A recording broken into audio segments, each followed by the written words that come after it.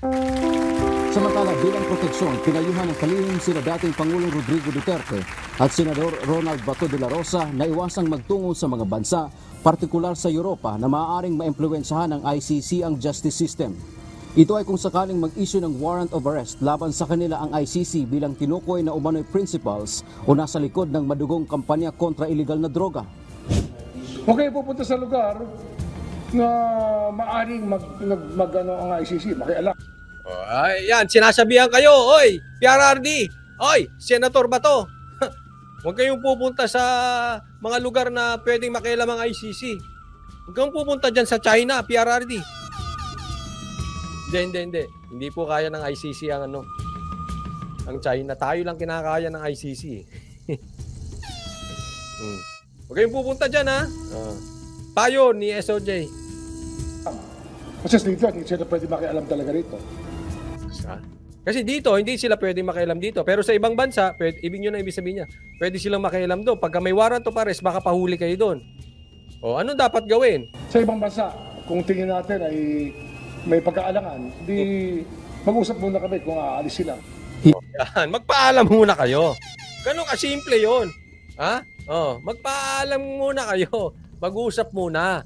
Oh, ha? Pag kayo aalis at pupunta kayo sa mga delikadong lugar na may sakop ng ICC, mag-usap muna kayo. Yan ang sabi ni SOJ. Kaya interpretasyon ko ro, magpaalam kayo. Ay, maka... Tumimbre. Yan, sabi nga. Parang yung sinasabi niya dito sa Las Piñas raid ng mga Pogo. Eh, ito mga ano eh, sabi ko na mag-usap muna kami bago magre-raid eh. Sumigi-sigi kayo. Dapat tumimbre kayo, ha? Hmm. Hmm. PRRD, alam mo na. Hmm? Senator Bato, alam mo na. Ay, si Senator Bato ata, alam eh. Parang tumitimbre na to eh. Kasi nung, uh, ha, iba yung ano ha, parang ay, iba lang yung pagkaka-handle niya ng uh, Senate inquiry diyan sa kaso ni Tebes Degamo. Parang iba eh. Ha? Parang ano eh. Parang tumitimbre na kay DOJ. Parang ang datingan eh parang ay Repa Repa Pips. Ha? Yan. Ito talaga si Tebes eh. Esteves may kasalanan eh. Ha? Hindi, hindi sinabi ni Senator Bato yun. Ako lang. Parang ganun kasi. Parang may pasintabi na. Ha? May timbre na. Hmm. Uh, matalino si PRRD Bonjing, sabi ni Maria Luz. Oh.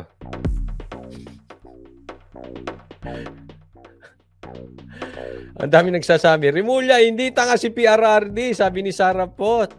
Hmm. SOJ, sabi ni Mel, ano, ano tingin mo kay ano?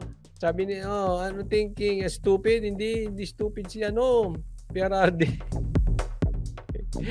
Ay, magsabi kayo ha. Huwag kayong alis ng alis. Hindi, may meron akong tanong sa inyo. Na-offend kaya sila? Tanong lang naman. Kasi umalis to si PRRD. Nagpunta ng China. Pero alam naman daw ni BBM. Alam naman daw ng president niya. Kaya lang eh, syempre, ang tanong doon eh, na-offend kaya?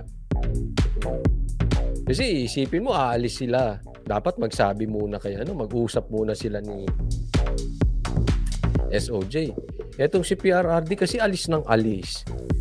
Dapat nagsasabi ka kay BBM nang walang naiisip yung mga dilawan. Hmm. At yung mga pulawan, eh, hindi ka kinakausap. Ay, hindi ka eh, inilalaglag. Oh. Hindi naman kinumpirma ng pamahalaan ang isyu na kasama umano si Vice President Sara Duterte sa binanggit sa dokumento sa ICC. Kaugna din... Eh, sabi ng ano daw, Bera Pals, Bera, Bera, Bera, Bera, Bera. Kasama daw si ano eh, si Sarah eh. Umano ito ng mga kaso ng pagpatay noong siya ay alkalde pa lamang ng Davao City. Ayon sa Foreign Legal Council ng Pilipinas, maselan ang dokumento na nasa ICC. We cannot confirm the names of anyone named in documents submitted. This... Mabira pag andyan si Tebes sa inyo ha, ewan ko na sa inyo. Pag nakasama pa sa listahan si Tebes tsaka si Bantay, alam na this.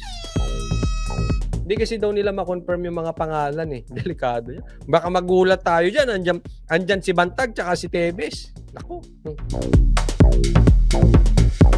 It's a confidential process thus far, and so there is no official record of who's been named. Oh, no official record. Sino nasa loob? Naku. Galing ng Vera Files. Alam nila. Andun si Sarah. Ay, hindi kino-confirm nor dinideny kasi walang nakakaalam. Hmm. Pero kung ang DOJ ang tatanungin, politika ang nasa likod ng pagkakadawit Correct. Politiko ang kumakandong dyan. Tama ka. ng pangalan ni VP Sara sa ICC, wala pa ring opisyal na komentaryo ang pangalawang Pangulo hinggil dito. Yung ICC kasi may political agenda nga, yung problema natin eh. Diyan nga uh, pumapasok yung marami sa mga allies ng NDF na naglalabi lagi sa sa ano sa sa EU. Mga allies ng NDF yan eh, ng National Democratic Front. Dan- Hindi, hindi siguro. Hindi yun. Galing daw doon sa NDF. Hindi, hindi siguro, hindi siguro. Malakas ang may hawak dyan. Ang may hawak dyan, galit sa Duterte. Naniniwalang malakas ang Duterte. Kasi kung totoo, nakasama si Sara, kasama si Bongo, kasama si PRRD, kasama si Bato, yan po yan po ang malakas. Pagdating sa usaping Duterte ang pag-uusapan. Yan na po yan. Actually, kahit wala Senator Bato yung tatlo. Yan po yan. Oh.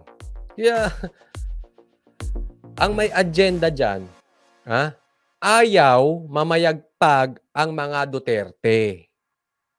Tatlo, sinasangkot na. Walang ititira. Walang ititira na posibleng masingitan sila ng Duterte. Ganun po yon. Hindi nila papayagang masingitan sila ng Duterte. Yun po ang politika doon. Yun yon. Ha?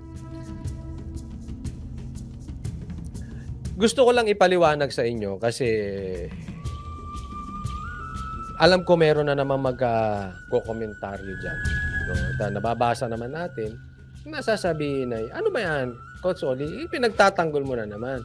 So, ibig mo sabihin, okay na naman ang mam- mamamatay tao. Yan, pinagtatanggol mo na naman yung mga mamamatay. Hindi po, hindi po. Ganito po tatandaan natin ha. Ang laban ng droga ay, ah, ito po ay posibleng political in nature. Okay? Kaya nga drug war eh, ha? Tingnan nyo.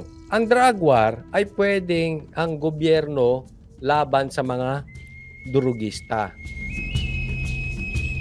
Pero hindi sa inyo lingid at alam na alam natin na ang laban sa droga ay napakalaking pera. Very possible, pagsamahin mo ang pera ng droga at gambling, mas malaki pa ang pera kaysa sa Pilipinas. Ganun po ka-powerful yan. Kaya, napakalaking tendency na bukod sa laban, bukod sa gera ng administrasyon o ng gobyerno laban sa mga durugista, pwedeng laban ito ng mga drug lords. Okay? Anong ibig sabihin? Kasi sila-sila ya magtatalo.